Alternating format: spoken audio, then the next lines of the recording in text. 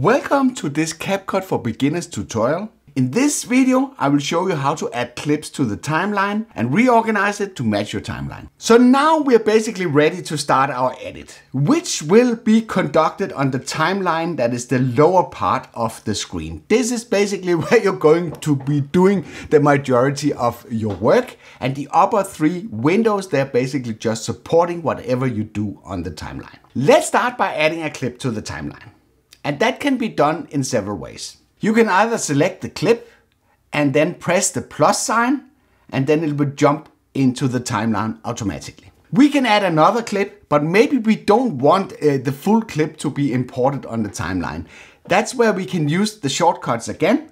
If we play the clip, we can press I for in and we can press O for out. So now it's only a fraction of the clip that is sort of selected in the media bin. And if I press plus, that will jump into the timeline.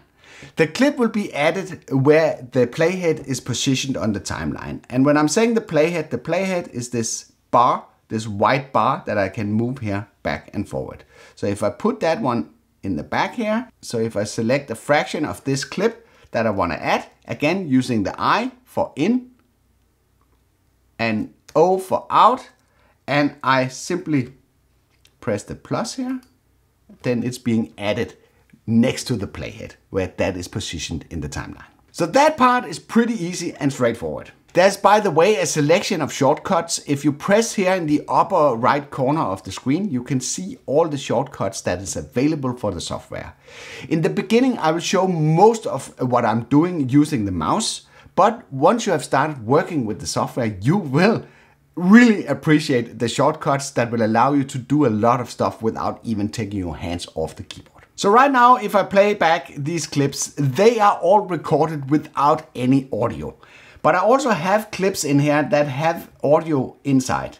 So let's just select one of those. This is part of a tutorial. Oh, we need to take that, that one into account when we are flying out there.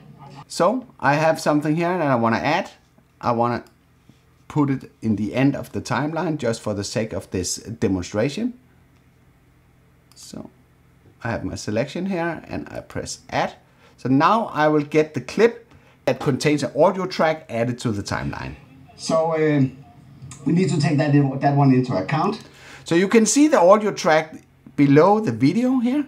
That is shown with as these waveforms that you have here. And you can adjust the volume up and down on this uh, slider.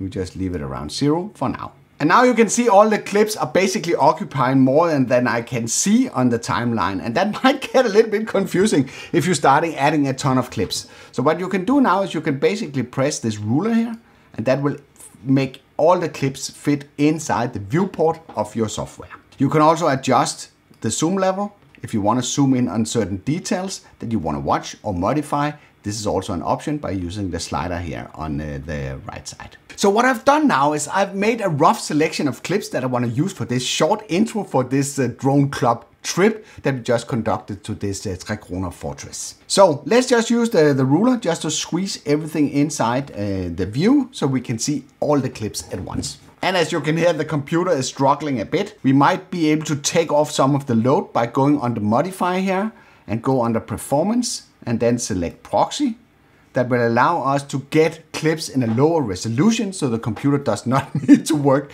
so hard to keep up. So let's just do that. But that will also maybe influence the quality a bit when we're working with the footage. The lesson that you just watched is part of a full tutorial that covers end to end the workflow from you importing the footage, exporting it into a final video. If you want to watch the full tutorial in one go, you can access it through this card. Or you can watch the individual topics through the playlist below. I hope you liked this video. If you did, then feel free to give a like. If you didn't like it, feel free to press the dislike button twice. Thank you for watching and I'll be seeing you on the next one.